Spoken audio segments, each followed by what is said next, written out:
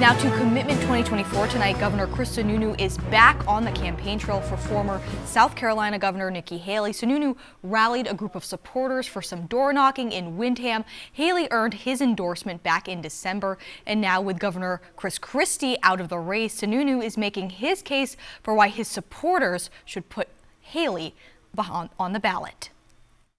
If you wanted uh, to deliver Donald Trump a defeat, it has to happen in the at, at the polls uh, as part of this election. Uh, you can't wait for outside factors to, to move Donald Trump off of the um, the national stage. It, it, supporting Nikki, she's the only one, the absolute only one that can defeat him in the primary.